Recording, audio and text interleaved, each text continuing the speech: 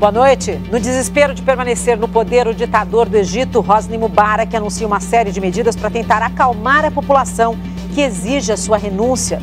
Nomeia um vice-presidente, convoca um novo primeiro-ministro e promete eleições parlamentares para o final do ano. Mas depois de 30 anos ouvindo a mesma conversa, o povo sabe que nada vai mudar se Mubarak permanecer onde está. Hoje foi o dia mais violento das manifestações no Egito, com dezenas de mortos. Vamos agora ao resumo de outras notícias deste sábado. Manifestantes egípcios voltam a desafiar o toque de recolher e sobem nos tanques para mostrar que nada mais os intimida. Prédio de 30 andares desaba em Belém, no Pará, e 20 pessoas podem estar soterradas. Juristas estudam mudanças no Código de Defesa do Consumidor para proteger os chamados superendividados. São Roque, no interior paulista, transforma os vinhedos em atração turística e faz o visitante participar da colheita. Ai, é a coisa mais maravilhosa do mundo fazer isso. Eu acho que eu vou mudar meu trabalho. A brasileira Fabiana Murer começa bem em 2011 e conquista a medalha de ouro na primeira prova da temporada do salto com vara. E nos Estados Unidos, uma manobra inédita no Campeonato Mundial de Esportes Radicais.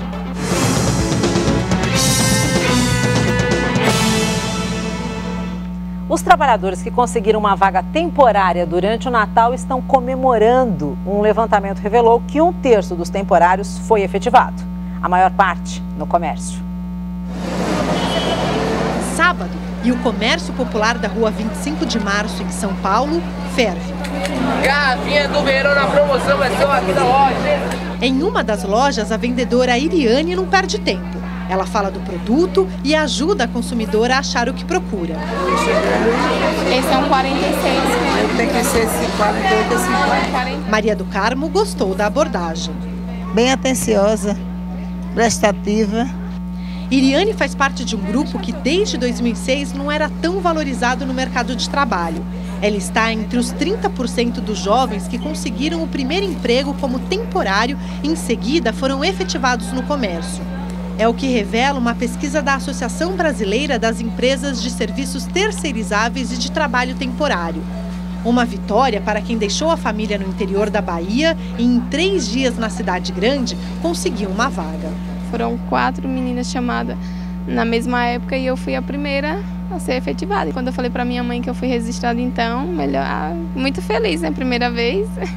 Ser efetivado no trabalho é mesmo uma grande conquista. Mas mais importante do que isso é conseguir se manter na vaga e, por que não, crescer dentro da empresa.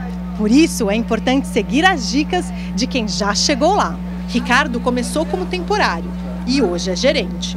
Você tem que se esforçar bastante, correr atrás, pontualidade esforço, comprometimento. Essas são as regras básicas, né, para chegar num cargo de gerência e vestir a camisa da empresa. O resultado das contratações no Natal de 2010 é animador. Em todo o país foram assinados 140 mil contratos temporários. Desses, 39 mil foram estendidos por tempo indeterminado. A maior parte das contratações foi feita pelo comércio, que geraram 98 mil vagas temporárias. Esse economista diz que, apesar de lento, o crescimento deve continuar em 2011. 2011 vai ser um ano bom, embora não tão bom como foi 2010, mas deve continuar crescendo o emprego, o que é importante para sustentar o mercado e as vendas do varejo também devem continuar crescendo num percentual aí de 6 a 8%, o que é um resultado muito bom, principalmente depois de um ano excepcional como foi 2010. Iriane sabe como aproveitar essa boa maré. Ah, uma supervisora, um gerente. Mas não, eu quero ser uma boa vendedora. Não importa, tipo assim, eu quero ser uma boa vendedora. Quero que os clientes sintam a minha falta. Para mim já está ótimo. A revolta popular no Egito, mais de 80 pessoas já morreram desde que os confrontos entre manifestantes e tropas do governo começaram há cinco dias. Mais de duas mil pessoas ficaram feridas. Hoje, numa manobra política para tentar se manter no poder, o presidente do Egito, Hosni Mubarak, nomeou um vice-presidente e anunciou eleições. As ruas das principais cidades do Egito foram tomadas pelos manifestantes que pedem a volta da democracia. Do alto dos tanques, os militares pediam para que a população ficasse em casa e obedecesse ao toque de recolher. Essa imagem traduz o tamanho da mobilização popular, apesar do governo ter cortado a comunicação telefônica e os serviços de internet. Hoje, em algumas regiões, os telefones voltaram a funcionar. Sob prisão domiciliar depois de retornar ao país, o Prêmio Nobel da Paz de 2005, o diplomata Mohamed Baradei, disse em entrevista por telefone que vai lutar até que chegue ao fim o regime ditatorial de Hosni Mubarak. Os manifestantes saquearam lojas e tentaram incendiar a sede do Banco Central Egípcio. O Museu Arqueológico do Cairo informou que foi invadido e que múmias faraônicas foram danificadas. A TV estatal mostrou Omar Suleiman ao lado do ditador Mubarak. Suleiman vai ocupar o cargo de vice-presidente vago desde que Mubarak assumiu o poder há 30 anos. Em outro ato para sinalizar mudança, foi conduzido ao cargo de primeiro-ministro o general Ahmed Shafik, que terá a missão de formar um novo governo. Ontem, o ditador Mubarak falou pela primeira vez desde que o levante popular começou. Ele pediu a renúncia de todos os ministros e prometeu eleições livres em setembro, mas deixou claro que não pretende renunciar.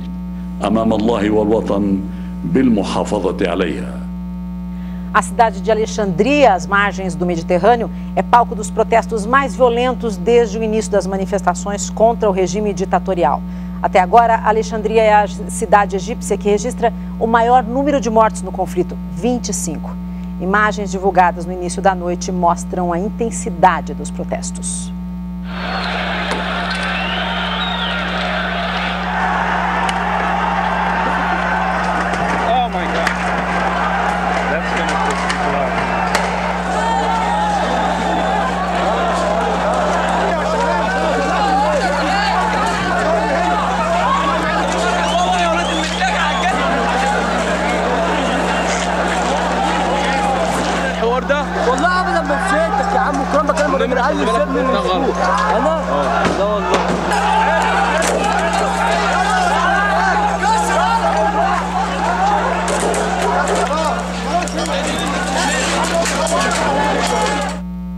E ao longo de todo o dia, os protestos contra os regimes ditatoriais no mundo árabe se intensificaram. Na Jordânia, os manifestantes se reuniram em frente ao gabinete do primeiro-ministro na capital Amman para pedir sua renúncia. O premier é acusado de corrupção e nepotismo. A população também protesta contra as altas taxas de desemprego e o preço dos alimentos. No Iêmen, onde o desemprego chega a 40% da população, os manifestantes saíram às ruas para exigir mudanças e a renúncia do presidente Abdullah Saleh, há mais de 30 anos no poder. Na Tunísia, onde o levante popular derrubou o presidente Ben Ali, as ruas da capital, Tunis, amanheceram mais tranquilas. Mas no início da noite, a polícia voltou a enfrentar manifestantes, que agora pedem a queda do primeiro-ministro Mohamed Ghanouchi. Na Cisjordânia, em Israel, milhares de palestinos participaram do funeral de um jovem morto por colonos judeus. Um grupo atacou uma torre de vigilância do exército israelense, que respondeu com bombas de gás lacrimogêneo. No noticiário nacional, um prédio em construção de 32 andares desabou na tarde de hoje em Belém. Pelo menos 10 pessoas podem estar soterradas. Casas vizinhas e dois prédios também podem ter tido a estrutura comprometida no acidente. O prédio de 34 andares era localizado na Travessa 3 de Maio, entre as avenidas Governador José Malché e Magalhães Barata. O acidente aconteceu por volta das 2 horas da tarde. De acordo com as primeiras informações do Corpo de Bombeiros, 10 pessoas estariam no local fazendo a limpeza do prédio. Nós conseguimos subir aqui nesta casa e a gente tem noção de como mais ou menos tudo aconteceu, olha só. Muito entulho, muito ferro, os técnicos do Corpo de Bombeiros e Defesa Civil nesse momento trabalhando para a retirada de possíveis vítimas. E esse morador estava na hora em que tudo aconteceu. Como foi que isso aconteceu? A primeira teve um estrondo, né? Aí o prédio balançou para frente, quando já foi para trás, a base dele veio partindo, veio quebrando, quebrando, quebrando. E isso aí foi a poeira, só poeira, poeira, tremendo tudo. É sinistro, sinistro. Quantos andares tinha, você sabe? Se eu não me engano, são 34 ou 35. A energia no local foi desligada. Agentes da Polícia Militar retiravam os moradores da área. Neste momento, a Defesa Civil trabalha para a retirada dos moradores dos dois prédios localizados próximos ao desabamento. Evacuar as casas do entorno no sentido de evitar que a tragédia possa ser potencializada por uma nova tragédia. Segundo, fazer uma avaliação daquele prédio que está ali, das condições objetivas desse prédio. Inclusive, a avaliação feita até agora é que ele não oferece maior perigo, mas mesmo assim, nós já determinamos que ele seja escorado para que se evite um drama maior. São Paulo teve o mês de janeiro mais chuvoso desde que a medição dos índices pluviométricos começou a ser feita em 1943. O problema é que toda essa água cai e não tem para onde ir, culpa do crescimento desordenado e sem planejamento. E a cidade que não consegue achar uma solução para a chuva também tem problemas com água limpa e pura de nascentes. O repórter Saulo Lopes foi conhecer uma delas. É aqui no bairro do Butantã, na zona oeste da capital, que fica o Morro do Querosene.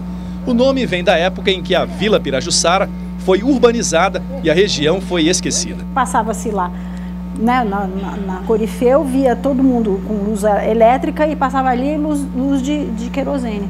Mas foi graças à falta de energia elétrica que a população local conseguiu manter características que toda a região perdeu o fato de não ter luz dentro de casa, não ter aparelhos elétricos e tudo mais, fez com que a comunidade se voltasse para a rua. Então, as atividades de rua, as brincadeiras de ruas, festas, com manifestações culturais específicas. Além de manter as tradições, os moradores conseguiram preservar também o verde.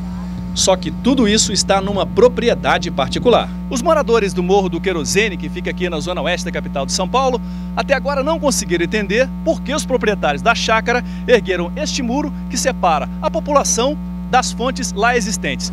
Com medo de perder o espaço, os moradores entraram com um pedido de tombamento do lugar há 10 anos. Pediam a preservação da fonte. Como ela não tem um valor é, propriamente arquitetônico, foi descartado a, a questão do, de preservar a fonte. A população voltou a insistir na importância da preservação. Em 2003, um laudo da Sabesp comprovou que a água da fonte era de fato limpa e pura. Tanta gente precisando de água, às vezes a gente tem que comprar a água se quer uma água limpa. Aqui dentro, tendo essa esse espaço aí que dá para aproveitar. Ao mesmo tempo em que os moradores se organizavam, a Prefeitura de São Paulo trabalhava num projeto para preservar tradições culturais da cidade. E o morro foi indicado como um local de fortes tradições. Todos os indicados ganharam uma proteção preliminar, até que os estudos sejam concluídos. E em 2009, os moradores entraram com um novo pedido de tombamento. Agora, com três motivos diferentes. A questão ambiental, por causa do verde e da água limpa que brota das minas e hoje não é aproveitada para nada. O patrimônio imaterial, já que o local é um dos poucos que manteve tradições culturais. E o valor histórico. Segundo alguns pesquisadores, aqui era o Piabiru. Piabiru, em tupi, significa caminho do gramado amassado. Por aqui podem ter passado os bandeirantes do século XVI, índios e até os incas que viveram nas Américas muito antes dos colonizadores portugueses e espanhóis. A Rua Santanésia, que ladeia toda a chácara, há indícios de que fosse o caminho do Peabiru. A prefeitura vai estudar e confirmar todas as informações. E só depois decide se o Morro do Querosene vai ser patrimônio de todos. Torcida não falta. O que a comunidade quer aqui não é que vire um ponto para o Morro do Querosene, mas que seja um ponto de, de saúde, de natureza para a cidade de São Paulo. Esse caminho escreve a história de São Paulo, se não a história do Brasil. Bem, a assistente técnica da Diretoria do Patrimônio Histórico de São Paulo disse que o muro construído toma uma parte da rua e por isso a remoção dele já foi pedida. Já os advogados da família, que é dona da chácara, informaram que o local é propriedade particular e por isso está cercado. Em São Roque, no interior de São Paulo, turistas acompanham desde a colheita da uva até a fabricação do vinho. A ideia dos produtores é manter viva a tradição que chegou na cidade no século XIX. A roupa lembra a Itália, o cenário também, mas estamos em São Roque. A cidade, a 60 quilômetros de São Paulo, atrai turistas por celebrar tradições vindas com os europeus. O bondinho parte da fazenda, corta a zona rural as parreiras carregadas esperam os visitantes. Tesouras nas mãos, em alguns minutos, gente da cidade grande torna-se lavrador. É difícil? Ai, é a coisa mais maravilhosa do mundo fazer isso. Eu acho que eu vou mudar meu trabalho. Os primeiros parreirais foram plantados em São Roque pelos portugueses que fundaram a cidade. Cresceram e ganharam força com a chegada dos italianos no final do século XIX. Na época, os funcionários que colhiam as uvas eram obrigados a cantar para dar a certeza aos patrões de que não estavam comendo. Não é bem o que acontece hoje. Acho que eu tô mais comendo, na verdade. Acho que eu mais comi, viu? Tá muito docinha essa uva. As uvas vão para a máquina, que tira o talo e esmaga o fruto. De lá para a fermentação. Saem de São Roque todo ano 18 milhões de litros de vinho, a maioria de mesa. Mas, segundo esse empresário do setor, aos poucos crescem também a pesquisa e a produção de vinhos finos, investimento impulsionado pelo turismo. Você tem que qualificar o turismo para uma, uma condição é, econômica boa e social né, desse turista, esse perfil, e aí sim ele vai exigir um, um, um vinho melhor também, um vinho de maior qualidade, outras variedades, e aí sim as empresas são movidas a, a se especializar, a se desenvolver nesse sentido. Depois da aula sobre vinicultura, hora de botar a mão na massa. Bem, no caso, os pés.